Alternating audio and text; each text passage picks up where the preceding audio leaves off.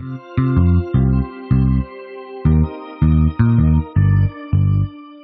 using BB Curl Anti-Humidity Gel Oil and BB Curl Defining Cream because my hair is a combination of coils and corkscrews. First, I'm going to wet my hair with BB Curl Pre-Style Restyle Primer. Now I'm going to work section by section to ensure that my hair stays wet.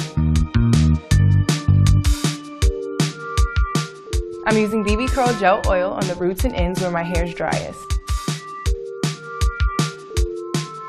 I'm using BB Curl Defining Cream on the mid shafts.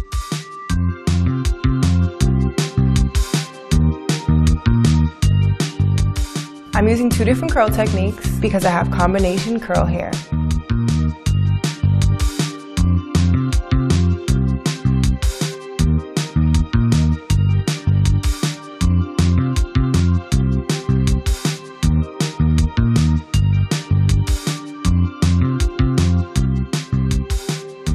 And that's it.